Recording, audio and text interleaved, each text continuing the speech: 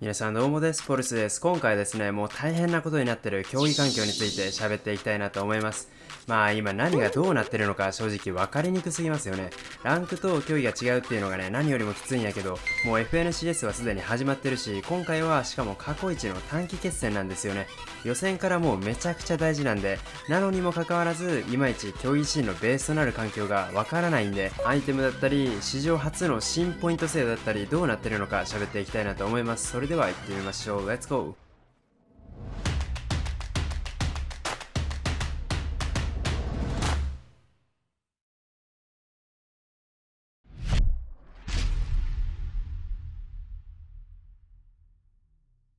では早速まずは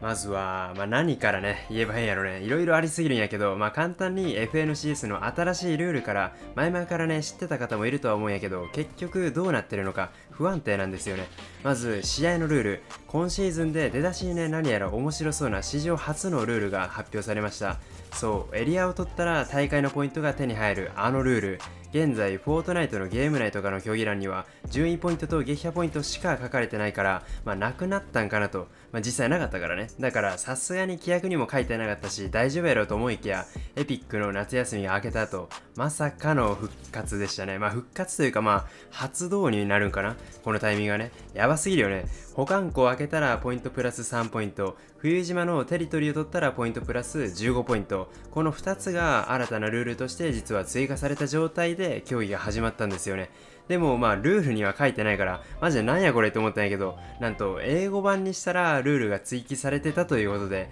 まさかの言語が問題でしたね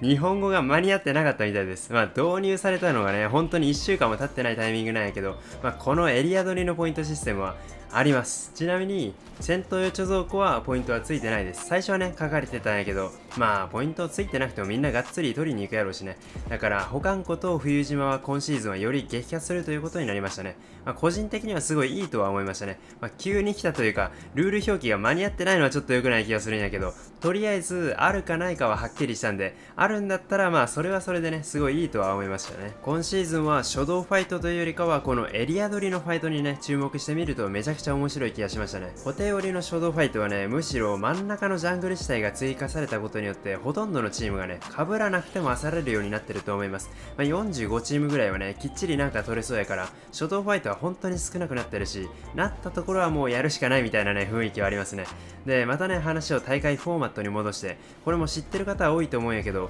FNCS 予選3週間のみでグランドファイナルのメンバーがもう決まってしまいます。3週間のそれぞれのウィークの最終戦績に応じてシリーズポイントが付与されていってそのポイントの上位50チームだけがグラファに直通します。これはね結構難しいと思いますね。まあ前まではねシリーズポイント40位まででグランドファイナル決定。でそこから41位から90位が準決勝っていう流れやったから逆に言うと90位まではグラファにつながるんですよね。でも今回はもう予選だけできっぱり50チームできってしまうと。予選で1周でもこけるとかなりね今後の難しさは出てくるんですよね。ただ逆に言うと一応2週間だけでも決勝に2連続行ってかつ2回とも上位に行けば2週間でも通ります。1週間だけで他0ポイントだとさすがにね1位でもいけないんやけど、まあ、ポイント入るのは300位からやから、まあ、目立たないけど意外と地道に伸ばしてるデュオっていうのもねグラファに出てくるとは思いますね。とりあえず今シーズンまさかの3週間でグラファメンバーが決まると。でグランドファイナルは2日間の勝負。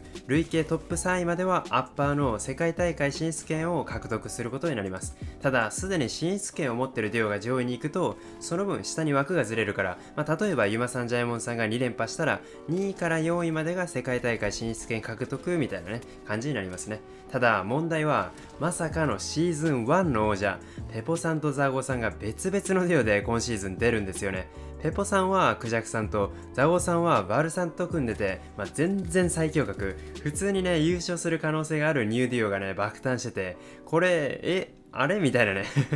ワンチャン史上初ですよね。世界大会進出権獲得しつつも別々のデュオになるっていうのをね、これ色々とどういうことなんだと、まあ気になる方もね、多いと思うんやけど、まず、ザゴーさんとペポさんがそもそもデュオを離れた理由っていうのは2つあると思うんですよね。1つはザゴーさんが運営に聞いたところ、世界大会には2人とももう行けると、それは確定していると。シーズン1の王者たちって次のシーズンが終わるまでにそのデュオで世界大会に行くのか行かないのか解散する場合は運営に連絡して進出権を放棄してからやり直しになるんですよね。ただ今はシーズン3でつまり解散する申請をする期限はもう過ぎてるんですよね。もうザゴーさんとペポさんがその2人のデュオで世界大会に行くことは確定してます。だから逆に言うと今シーズン組んでる相方とは1位取っても出られないんですよね。ザゴーペポディオはシーズン4で確定していると。じゃあなんで解散するのかというと、ザゴーさんがツイートしてて、まあ長くね、組み続けてると、性格的に口が悪くなっちゃうと。まあ雰囲気がね、良くなくなっちゃうから、一旦リセットとして別の人と組みたいということだったんですよね。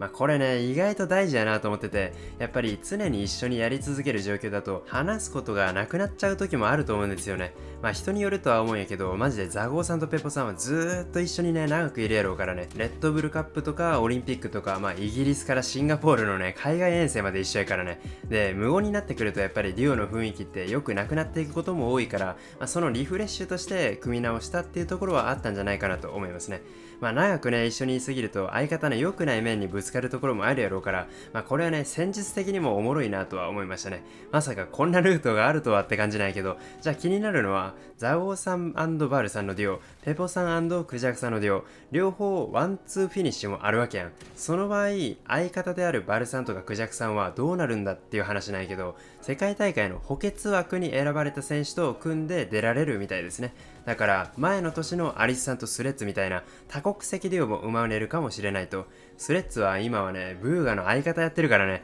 まあ昔もね、やってたんやけど、なかなかね、それはそれで夢あるなと感じますね。まあ基本的には今シーズンのトップ3はしっかりと世界大会に全員ね、いけると思います。で、そして、なんとグラファが終わった次の週ですね、1週間だけで世界大会進出権が決まるラストチャンスメジャーというものが開催されます。まあそういう存在はね、結構ね、前から出てて知ってる方も多いと思うやけど、ついにね、詳細が出ました。まず参加条件、必要ランクですね。FNCS はプラチナ1なんやけど、ラストチャンスメジャーはダイヤモンド1が必要になってきます。ダイヤモンドだったら逆に誰でも参加できるラウンド1がまずあります。で、そこから上位250組のデュオがラウンド2に進出、そしてそこの上位50組がラウンド3に進出、そしてそのラウンド3でトップ3組が世界大会進出と、めちゃくちゃシンプルなんですよね。というか、1週間だけでさらに3枠もアジアから世界に行けるっていうね、めちゃくちゃあっさりしてますよね。ほんまに感覚デュオキャッシュカップみたいですよね。ただ、こっから行く3組っていうのは少し今まで通ったデュオとは性質が違ってて、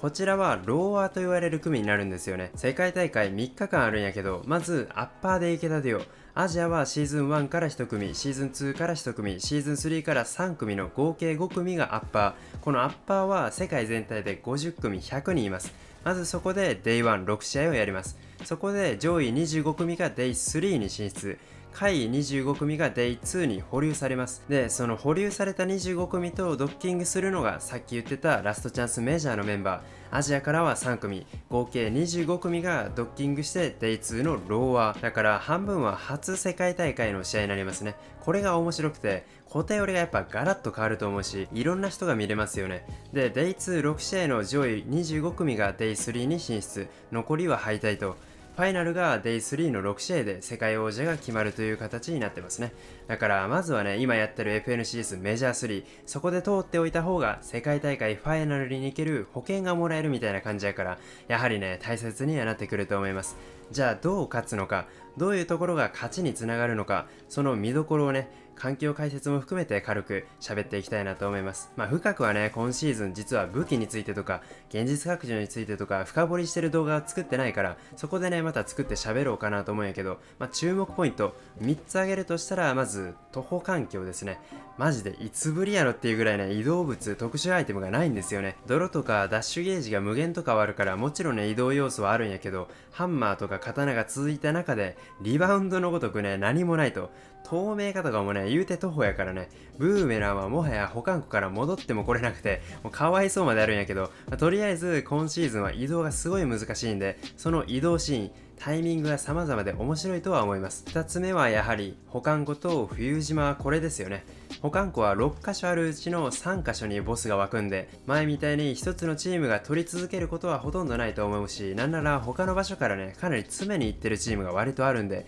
よりねいろんな対面が見れると思いますね。初動は被ってないけど狙いが被ってる戦いがあるみたいな感じですね。で冬島これはかなり競る時と振りすぎる時のね様々な場合があるんやけど取りに行くデュオ自体はね結構いろんなデュオが取りに行ってるような感じありますねここもね、前のシーズンよりもより面白い戦闘が起こると思います。こういう攻めたいところ、守りたいところの攻防戦がね、今シーズンは特にね、色濃く面白いと思いますね。そして3つ目、ハイグラ勝負。終盤ですね。本当に今シーズン、ハイグラ取るチームが様々なイメージなんですよね。それはやっぱり上に浮上するアイテムがないから、取りたくても取れない時は取れないし、逆に物資が潤沢になれば結構ね、勝負に行くチーム多いイメージなんで、ハイグラの取り合いもね、かなり熱い戦いになるんじゃないかなと思いますね。はい、いかがだったでしょうか？まあ、まだまだね、武器とか、まあ、それこそハイグラ取りやすくなった一つの要因は武器の建築の破壊能力の高さとか、いろんなところでね、すごいマッチがより面白くなってていくと思うんやけど、あと現実拡張とかね。まあ、ただ何があって何がなくなってるのか